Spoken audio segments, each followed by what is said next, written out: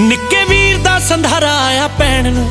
ਨਿੱਕੇ ਵੀਰ ਦਾ ਸੰਧਾਰਾ ਆਇਆ ਪੈਣ ਨੂੰ। ਪੀਪੇ ਨਾਲ ਬੰਨੀ ਖੰਬਣੀ ਕੁੱਟ ਕੇ ਕੁੱਟ ਕੇ ਮੈਂ ਗੇਟ ਵੱਲ ਭੱਜੀ ਜਾਵਾਂ, ਸੱਸ ਕੋਲੋਂ ਉੱਠ ਕੇ। ਮੈਂ ਗੇਟ ਵੱਲ ਭੱਜੀ ਜਾਵਾਂ, ਸੱਸ ਕੋਲੋਂ ਉੱਠ ਕੇ ਉੱਠ ਕੇ।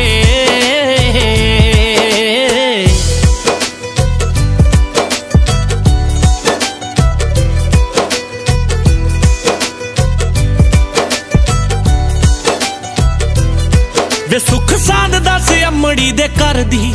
ਸੁਖ ਸਾਧ ਦੱਸ ਬਾਬਲੇ ਦੇ ਘਰ ਦੀ। ਮੱਝਾਂ ਪਲੇ ਹਟ ਕਿੰਨੀਆਂ?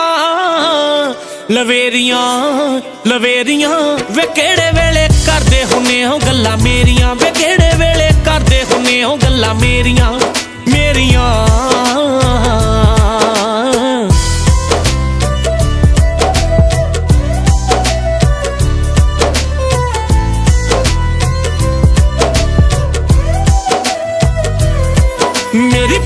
ਦੇ ਸ਼ਿੰਗਾਰ ਕਿਵੇਂ ਚੱਲਦੇ?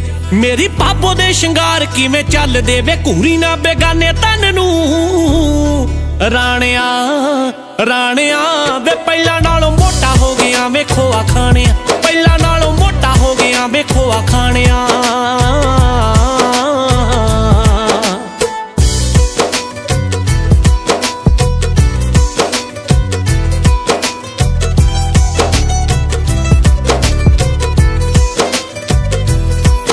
ਮੇਰੇ ਨਾਲ ਦੀਆਂ ਕਿੱਥੇ ਕਿੱਥੇ ਮੰਗੀਆਂ? ਮੇਰੇ ਨਾਲ ਦੀਆਂ ਕਿੱਥੇ ਕਿੱਥੇ ਮੰਗੀਆਂ? ਭੈਣਾ ਵਾਂਗੂ ਹੇਜ ਲੈਂਦੀਆਂ। ਸਹੇਲੀਆਂ ਸਹੇਲੀਆਂ ਤੇ ਰੱਬਾ ਦਈ ਸਾਰੀਆਂ ਨੂੰ ਉੱਚੀਆਂ ਹਵੇਲੀਆਂ। ਰੱਬਾ ਦਈ ਸਾਰੀਆਂ ਨੂੰ ਉੱਚੀਆਂ ਹਵੇਲੀਆਂ।